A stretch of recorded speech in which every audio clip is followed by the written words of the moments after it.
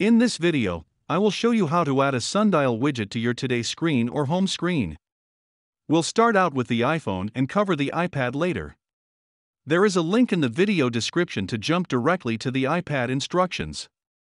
First, I'll swipe right and show you how to add a widget to this screen, called the Today view. To get into widget edit mode, I can either long press on the screen or touch the edit button at the bottom of the screen. Let's touch the edit button. Note that Sundial does not appear in the widget shown when I touch Customize. This brings up the classic widget picker, which has been deprecated by Apple in iOS 14. You won't find Sundial here. Instead, you can add the Sundial widgets by touching the plus button in the upper left corner of the screen. This brings up the widget selector. Now we can find Sundial in the list of apps with widgets. I can scroll down to find Sundial in the list, or just search for it. In this example, I am going to search for Sundial. Once I select it, Sundial's widget picker is shown. As of Sundial version 8, there are 14 widgets of varying sizes. This first widget, Sundial Today, is my favorite. We'll come back to it in a minute. But first, let's swipe left to briefly show each available widget. So, as you can see, there are a large variety of widgets available.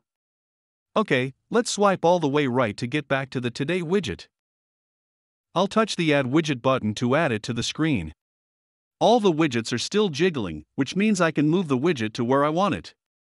When I have moved it to where I want, I can touch the Done button at the top to finish. But this widget, like most of Sundial's widgets, can be customized. To configure the widget, I long press on it until the menu pops up. Now I touch Edit Widget to bring up the widget editor. The extras are the three slots in the upper right. I'm going to make this widget more moon centric. So let's select moon illumination first. This is the percentage that the moon is full. 100% for full moon, 0% for new moon. Next, let's select moon age in slot number 2. This is the number of days since new moon. And I'm going to put the moon's altitude in slot number 3.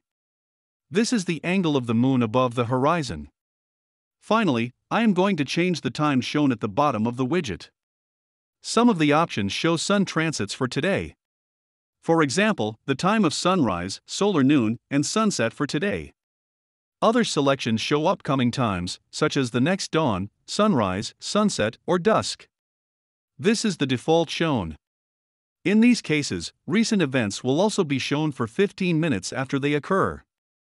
Since I am making this a moon centric widget, I will select next moon rise, lunar noon, and moon set. Lunar noon is when the moon is highest in the sky. I'm done editing, so I touch outside the pop up to close it. Now we see our customized Today widget. If we want to add a widget to the home screen, the process is basically the same. I can long press somewhere blank to directly enter home screen edit mode. This time I'll scroll down and find Sundial. I will select one of the medium-sized widgets. Now I could touch done or I could add another one. Note that you could have two copies of the same widget, each configured differently. I am going to use this to create a stack of two widgets that show upcoming solar events in one and upcoming lunar events in the other. First I will add and configure my solar events widget. I'll long press outside a widget or icon again to start jiggle mode and touch the widget add button. I'll scroll all the way to the end to select the upcoming Transits widget. I'll touch Done, long press the new widget, and edit its options. I am going to enable nautical twilights and disable moon rise, moon set. I touch outside the pop up to finish my edits. Now I'll add my lunar events widget.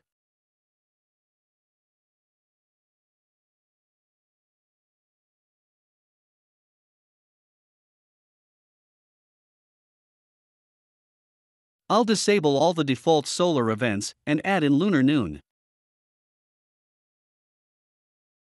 Now we have a widget that will display upcoming and recent moon rise. Now I am going to move these two widgets into a stack by dragging one widget on another. Now I can swipe up or down to jump between the widgets. I could add more if I wanted to, and the widgets don't have to be from the same app either. Well, that's the overview for iPhone. If you have any ideas for a new widget, feel free to contact us through sundialapp.com. There are links on our website to contact us by email, Twitter, or Facebook. As of iPadOS 14, widgets can only be placed in the special widget area called the Today view by swiping all the way right. I'll touch the Edit button. Note that Sundial does not appear in the widgets shown when I touch Customize. This brings up the classic widget picker which has been deprecated by Apple and iPadOS. You won't find Sundial here. Instead, you can add the Sundial widgets by touching the plus button in the upper left corner of the screen. This brings up the iPadOS widget picker. Now we can find Sundial in the list of apps with widgets. I am using the simulator for this demo, so there are not many apps. It might be easier to search for Sundial if you have a larger number of apps. Once I select Sundial, its widget picker is shown. As of Sundial version 8, there are 14 widgets of varying sizes. This first widget, Sundial Today, is my favorite. We'll come back to it in a minute. But first let's swipe left to briefly show each available widget. So as you can see, there are a large variety of widgets available. Okay, let's swipe all the way right to get back to the Today widget. I'll touch the Add Widget button to add it to the screen. All the widgets are still jiggling, which means I can move the widget to where I want it. When I have moved it to where I want, I can touch the Done button in the upper right hand corner of the screen to finish. But this widget, like most of Sundial's widgets, can be customized. To configure the widget, I long press on it until the menu pops up. Now I touch Edit Widget to bring up the widget editor. The extras are the three slots in the upper right. I'm going to make this widget more moon-centric. So let's select moon illumination first. This is the percentage that the moon is full. 100% for full moon, 0% for new moon. Next let's select moon age in slot number 2. This is the number of days since new moon. And I'm going to put the moon's altitude in slot number 3.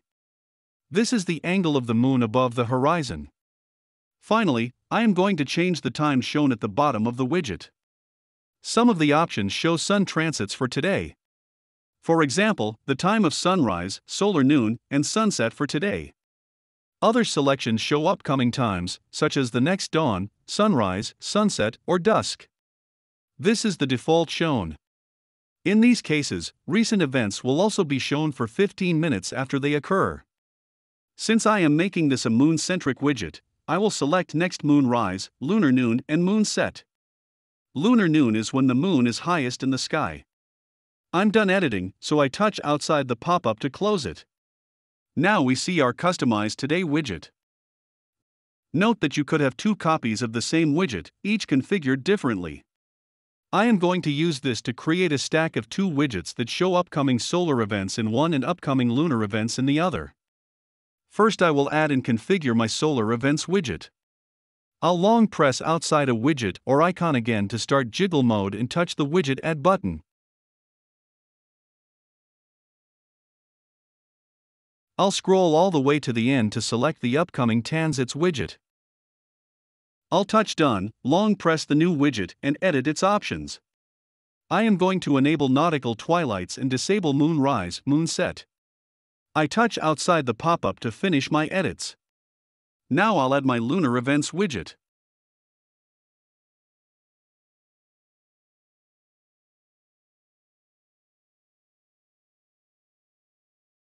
I'll disable all the default solar events and add in lunar noon. Now we have a widget that will display upcoming and recent moon